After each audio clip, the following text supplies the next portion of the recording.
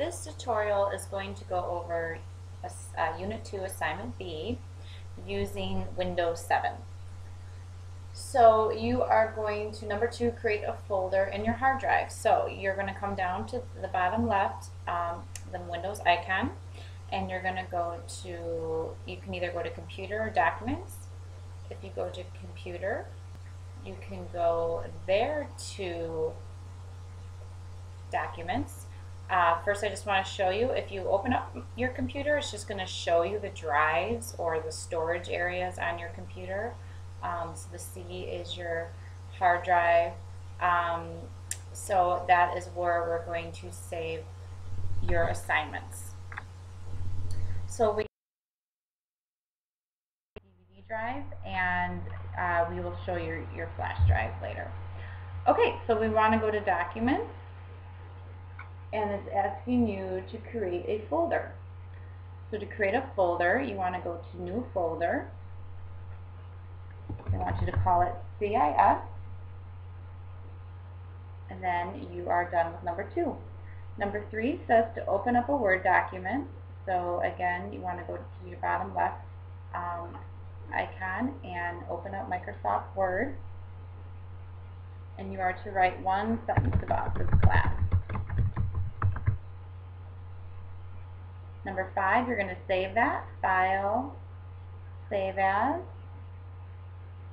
and they wanted to, you to put it in your new folder. So you want to make sure you're in your Documents library, and then your new folder should show up.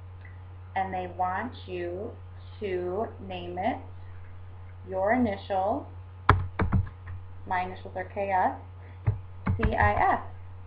You're not going to add the .docx because that's an extension and Word will automatically do that for you. You hit save and it's saved. So number six wants you now to look at your folder within your computer. So we'll just go ahead and X out of Word. And then if this isn't up, again, all you have to do is come down to the uh, Windows icon bottom left and just go to Computer Documents you want to look at your new folder and your assignment should be in there. So number seven, I want you to rename this file and you simply do that by right clicking on it and you go down to rename and you can call it, they want you to call it uh, your initials CIS2 and then you just click somewhere off of it and it has now saved by uh, to CIS2. Number 8, we're going to make a copy of this file. Again, same thing, you just want to right click on it and hit copy. Click copy, left click copy, and just somewhere inside your documents library, just right click and left click paste. And the KSCIS2 copy is there.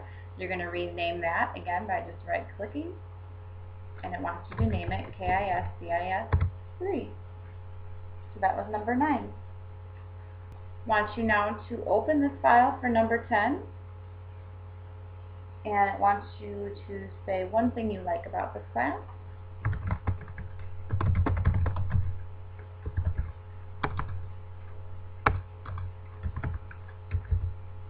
Gosh, right now.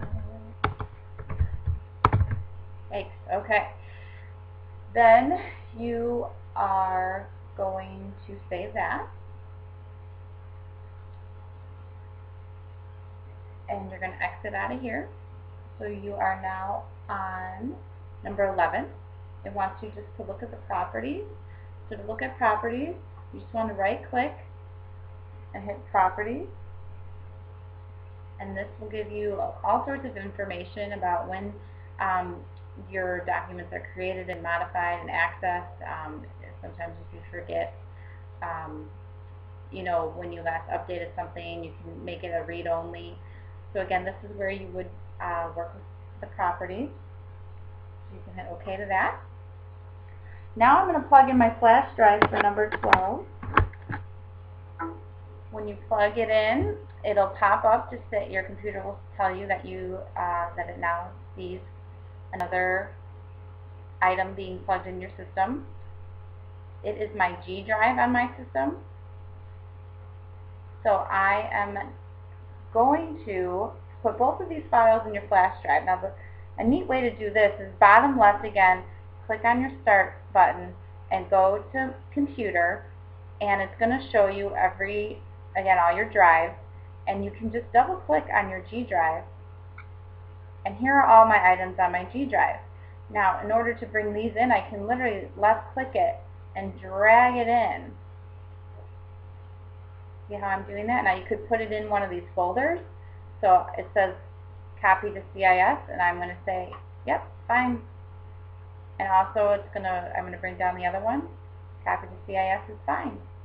So now my files are going to be within here.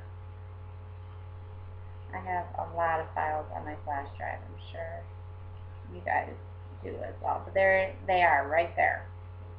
So again, you can play with um, opening up different windows, which is neat.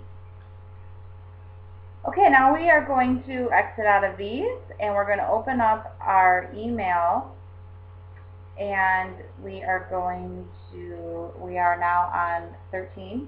We're going to create an email and you just create it to yourself.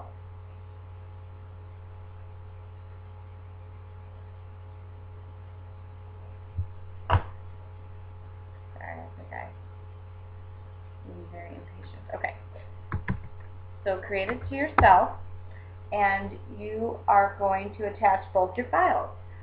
How you attach is just coming up here to hit attach file, and then you can either go to your flash drive or to your hard drive or your C drive. And usually your system remembers the last files you were working with. So I'm just going to click on the first. If it doesn't, you just come right up here um, uh, to your documents here, or you can go to your flash drive. But I wanted to show you um, when sometimes people forget where items are located. You can just use this drop down, and it'll show you the path where you saved this um, item. So it's on my C drive under Documents under CIS folder. So I'm going to click on the first document and hit Open and attach that. And I'm also going to click on my second document. So now I have done 15. Now it also wants you to copy and paste the contents of CIS2. So you can literally click it from here and it will open up.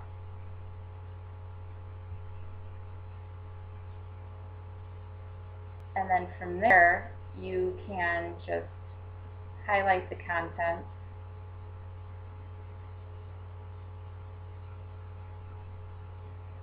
And then you can just paste them in your mail. So I'm just going to highlight that. Hit Control C. Bring it back down to my email. Control V to paste it. I'll give it a subject. And number 17 just says to send the mail with high importance.